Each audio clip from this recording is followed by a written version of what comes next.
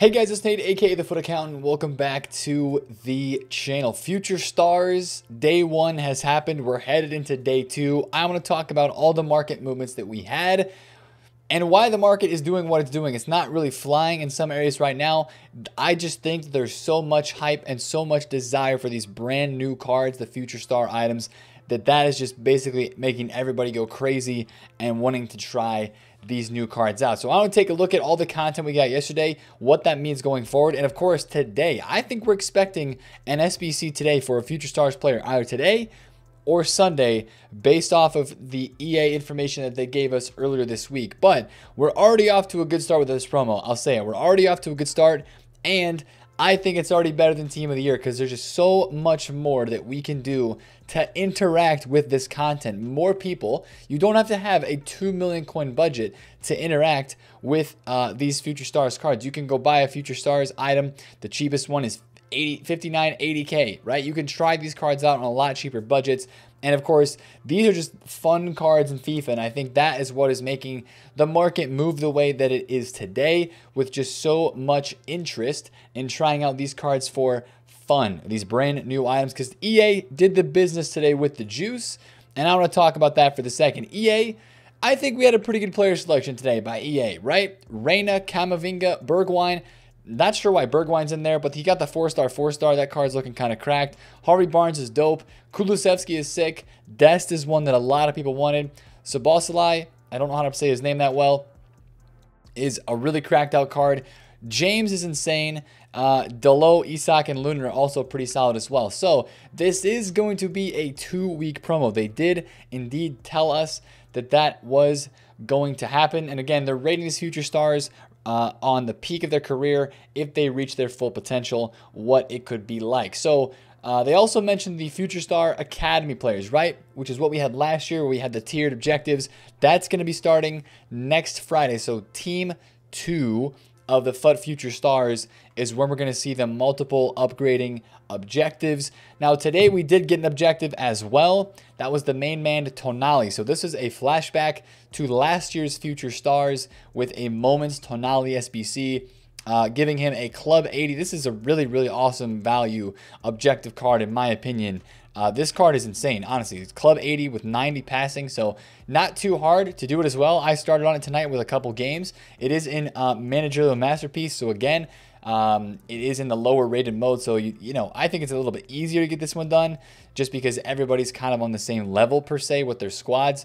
But that's a really nice uh, objective. We also have this Future of Football objective, which gets you a 50k pack for playing with players in squad battles uh, or rivals under the age of 23. So you have to win matches, assist five, score eight, and you get a 50k pack. So not too hard of a grind to get a 50k pack to open up. And today, speaking of the pack weight, that was one thing that was very interesting today on Friday uh, was the pack weight.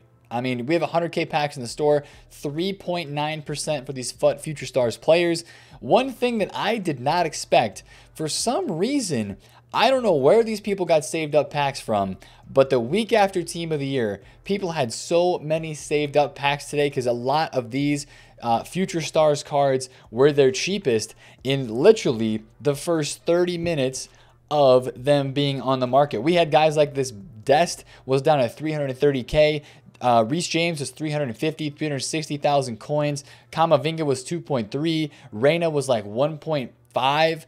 Uh, Bergwijn was a million coins flat. Kulusevski was like 420. So this Szoboszlai card was 480k the first 30 minutes in. He went all the way up to 800,000 coins. So that is why I think we saw the market do what it did yesterday. We didn't see a big of a mark as big of a market rise um, elsewhere on the market. We saw it all happen right here with these brand new cards. Now, other stuff on the market did pretty well. We'll take a look at some of that stuff in a second, but a lot of these cards had incredible, incredible rises. This Camavinga card, it's, it's going to be hard to see on the graphs, but if you guys were on the game and you saw the prices, you know, right? You know, this guy was 2.3 mil. He went all the way to 2.9. Can I get a sales history on Camavinga right here?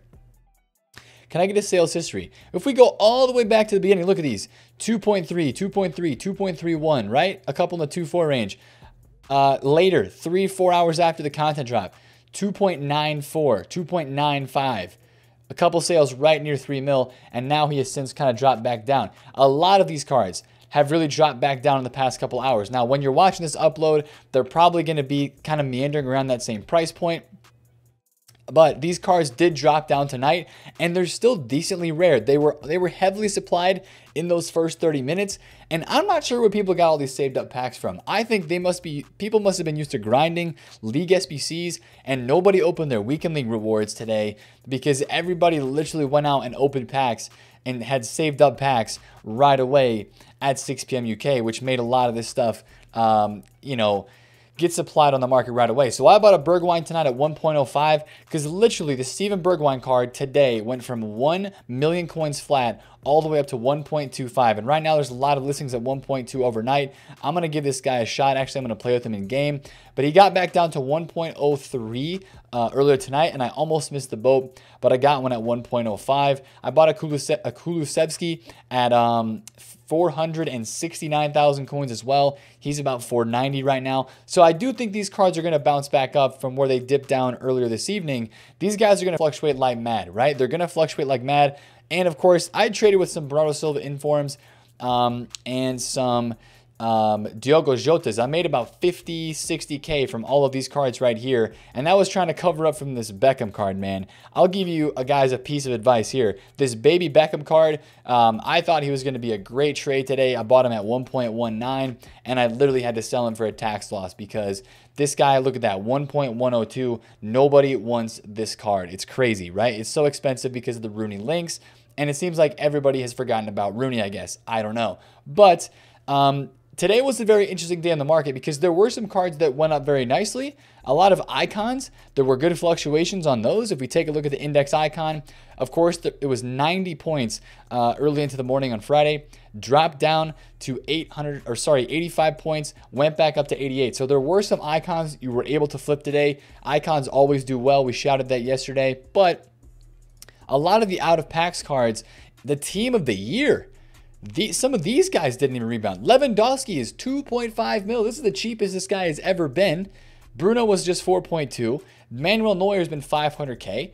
This Trent was 1.3, but with Reece James coming out, he was down to 1.1. So it's like uh, there was somebody that posted a picture on Twitter today of one of those memes where it's the guy that's like holding his girl's hand and he's, he's looking back at the girl that's walking past him, right? Somebody put that meme up on Twitter today of the future stars card being the girl that's walking past that the guy's looking at and the team of the year card is the one that he was like with, right? And it's like people just kind of forgot about the team of the year promo that we just had, and now everybody's all excited about future stars, which makes sense, right? It makes sense a little bit. Um, the thing that I was surprised the most by today is that. Uh, people were willing to just drop everything and, and sell almost any card that they had this Theo Hernandez headliner was 820,000 coins. He went all the way down to 740. He rebounded back up to 800, of course. Nice rebound there. This Diego Carlos was 475, 480. He's back to 520.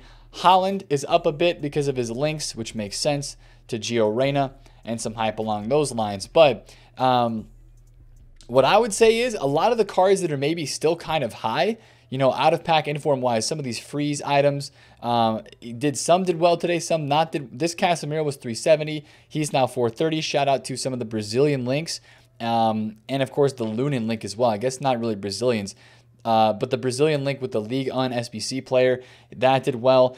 Uh, this this Allan St. Maximin card was 1.15, 1.14. He's up to 1.22. Uh, Chiellini was 340 this morning.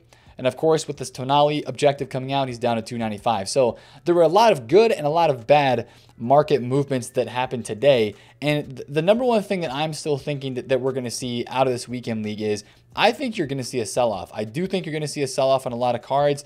Um, but this market still is a very rich market. Um, the thing that I'm interested in the most is what do these future star prices do uh, since a lot of people want to try to get them in their teams. Now, of course, right now I'm, I'm listing this Kulusevski for a lazy buyer about 100K overpriced to try to get a lucky sale. Um, that's why you see me having listed at 550. But I'm really curious to see what these future star items do today on Saturday. The number one thing I am expecting, though, I'm expecting them to rebound a bit up into this morning. That's why I bought Bergwijn, right? I bought Bergwijn at 1.05, um, which, by the way, EA Sports, you added the FUT Future Stars card type already. Uh, that's like the, the fastest that you've added a quality card type. I appreciate that. But I bought this guy at 1.05, so I'm already making a nice 40,000 coins profit basically on this. He's 1.142. Um, I expect this stuff to bounce back up into the morning time UK and then get panic sold a little bit pre 6 p.m. UK because people are going to expect these guys to drop with the supply that comes from lightning rounds. But um, a lot of the higher tier cards people are going to sell and then buy them right back because and they're going to rebound back. So you might see a kind of a fluctuation where you see this Bergwijn go, you know, up to maybe 1.2, back down to maybe like 1.07, 1.08, but then back up to almost 1.15 or something like that. Um, with the lack of supply, or people think that lightning rounds are going to pummel these cards today on Saturday. I would just be careful, right? Just be careful with some of these guys. Um, some of them might be a bit a lot of people are trying to flip these cards tonight. I will I will put that cautionary tape out there. This Serginho Dest was 370. A lot of people have bought him. They're already making coins. It's a mixture, right? Because these guys have a lot of demand, a lot of hype because they're brand new. None of these guys have really had special cards this year. Um, and now they have cards with insanely juiced stats, a cool card design, and it's everybody's just curious to see how they're actually going to play in FIFA. So there's a lot of demand for cards like that. So these guys are going to continue fluctuating. They're going to be great to trade with, fun to try out if you're actually playing the game as well. Um, but if you have cards in FIFA, like some of these, some of these cards, right? We're going to talk about man of the matches in a second, but let's say like a gold Neymar, 770. He's up today. Shout out to that SBC, right? Kanté is going to stay down and probably continue to go down a little bit further. Varane, I think, goes down a little bit further after weekend league sell off. Some of the gold cards that got supplied again, probably going to be trickling down. I think most of the entire market is going to get sold off a little bit after this weekend because it seems like some stuff just got a little bit too high earlier this week, especially on Monday and Tuesday, with a lot of people invested in Road to the Finals and you know some headliner cards that were due upgrades and just out of pack investments. Um, this Navas is low again. I sold them at 135 almost early today. Anyway, um, I do think you'll see a decent amount of weekly sell off because today, it a lot of that depends on the content that we continue to get through this promo. We started off today with a nice SBC or Friday. We started off Friday with a nice a nice SBC. I keep saying today.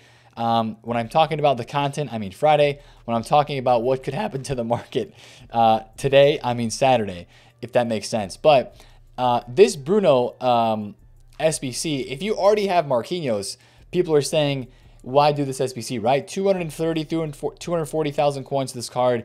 It's not a bad card. It has really good links, and it did cause some market movements today. But is it really worth it if you're gonna if you already have Marquinhos?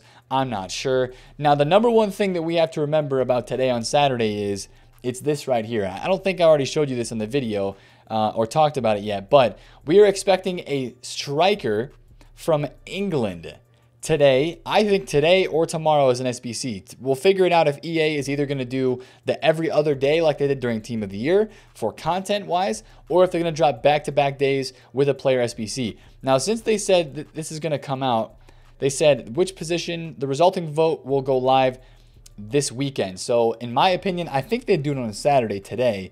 Um, but it's going to be an English striker. So what's going to what's that going to do for the market? You might see a little bit of, of panic selling or some sell off today on Saturday on some of the English strikers in FIFA. A couple that come to mind right away might be a Jamie Vardy record breakers, maybe a Harry Kane rule breaker. If you see some uh, selling on these cards, that might be potential buy because, of course, we don't know what this SBC is going to be, who it's going to be, or how much it's going to cost. But uh, there's potential here for some market movements. If the SBC is good value, it's an insane card, really juiced up stats, then you might see guys like this Harvey Barnes. You might see him rise up in price, a direct link to that new SBC player. You might see other English links kind of re revitalized again. There, some of the English icons are still high because of um, because of Rooney, but you might see more of the English cards bounce back a little bit from where they maybe went down a little bit yesterday because of this new SBC. So keep an eye on that right there. That's the that's the number one thing content wise I'm expecting today is that English striker SBC. And if it doesn't come today, then it would be tomorrow and Sunday. The other thing that we got is new man of the match cards. No Griezmann, man. I was bummed for no Griezmann, but we got a Jordi Alba, a Juan Cuadrado, Ocampos, Ospina, and Raul Garcia. Now, two guys are already discard. Ocampos is going to be interesting. Uh, Alba is going to be interesting. And Cuadrado is the most interesting because of all the links that he provides and how hyped he is right now in FIFA. If we compare this to his very expensive Rule Breakers card, this one has um, a lot less uh, dribbling, right? The the big boost on the on the Rule Breakers card was the I think it was the passing. I'm, I'm not sure what the big boost on the Rule Breakers card was, but this Man of the Match Cuadrado looks really nasty with the 92 dribbling. Of course, it doesn't have really high defense or physical, but this is a card a lot of honestly pros are using in the game. Now, I don't know since Team of the Year has come out if they're using Trent or stuff like that, but this man of the match item is going to be something to keep your eye on as he fluctuates. They're going to be really rare again. Um, so that's going to be something to kind of keep watch for too. These guys are going to bounce around a lot. A lot of people are going to be looking to invest in Cuadrado, Jordi Alba, and Ocampos this week because man of the matches last week were very hyped. They made people some coins. So this week, just be careful of that risk of the possible overinvestment because I do think there is a little bit of a chance there that it could get invested in a little bit too much.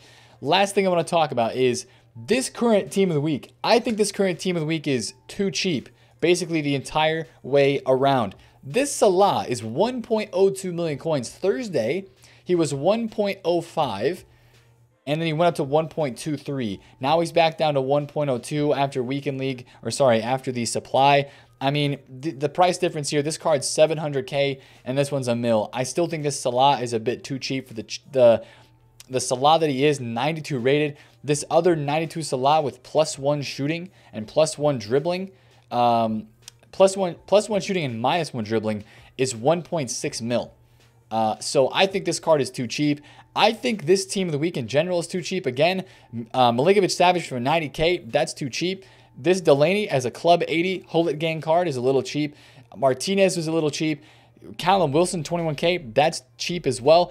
I think today on Saturday in the evening, might be a great time to look at putting some money into this team of the week, doing a little bit of investment um, because so many people are going to be focused on future stars. And people have lost a lot of coins on this team of the week earlier in the week. People that were trying to trade with Cancelo and Delaney, even Lautaro, have lost some coins. So I would keep an eye on this. I know we've had lightning rounds and this team of the week has been supplied a little bit because of it being a promo Friday. But what I would say is definitely keep an eye on these guys today on Saturday into the evening, and it could be the potential buy time. Remember last week on Saturday, we had the guy by the name of Frankie de Jong was 170,000 coins on Saturday, and on Sunday of last week he he went higher. He went higher on Sunday. Uh, it says that the Sunday was his lowest, but Saturday was actually his lowest. Saturday night into Sunday was Frankie's lowest, and he started going back up towards 200k. Of course, he's back down because of the the links to uh, um, the Barcelona players didn't tie out as well uh, as there was some overinvesting there. But it's just kind of a crazy market trend right now. One thing I didn't talk about SBC fodder. I'm just rolling through it today, boys. We're going through this. It's going to be a little bit of a longer video. We're rolling through it. SBC fodder. It did drop a little bit today, not a ton. Uh, maybe we'll take a look at the market index on the index 86s or something to to give you a true picture of this. But fodder did drop, especially like in the higher tier range, right? 86s, the market was at 346, went down to 325, still kind of dropping, right? Uh, index 84, we'll take a look at this as well. This index was at 284 points before 6 p.m., dropped down to 246. It is now kind of risen back up as people are still doing SBCs out there. Uh, but the stuff that has dropped the most, I think, is some of this higher tier stuff. I actually finished Bruno Fernandes in my club today because I saw Oblak was 70k earlier today when I bought him. Ter Stegen was 63k. These guys, Oblak and like Ter Stegen and Alisson, these guys were in the mid 70s and they dropped down a decent amount today. Now they're back up a little bit, um, but this fodder did drop. Now I would say see if this drops at all a little bit more today on Saturday. If the SBC that we get today is not good value or depending on how what the requirements are and stuff like that, um, that'll be something to keep an eye, a watch for. But uh, the biggest hype thing on Saturday today is going to be that SBC, depending on what EA does with it, and then of course people trying out more of these these new items. I'm gonna go try out Bergwijn myself again with the four star, four star, and the insane stat boost. Um, I don't know how Bergwijn got in because he's he's 23 years old. He's really not that young. And uh, I think he just got in because he's one of like the cover boys. But uh, it's a sick card, and EA's juicing them up big time. So I think that's why there's a lot of hype for this promo. And we'll talk more about League sell-off tomorrow, but keep an eye on the rare cards, right? The rare cards. That's the stuff you want to be watching because that's the stuff that's going to be bouncing back the quickest out of this promo, uh, depending on what it is. So that's the video for today, boys. I hope you had a good Friday on FIFA. These guys were kind of packable right away. A lot of people were, were snagging them, and the pack weight was kind of up there. So that's why I'm a little bit scared for maybe some golds a little bit too that didn't rebound as uh, back as well today that they could keep falling a little bit further. But that's the video for today, boys. If you enjoyed it, smash a thumbs up on it. Comment down below if you have any questions, and subscribe if you're new. It's been Nathan FUT Accountant. Catch you guys later. Peace out.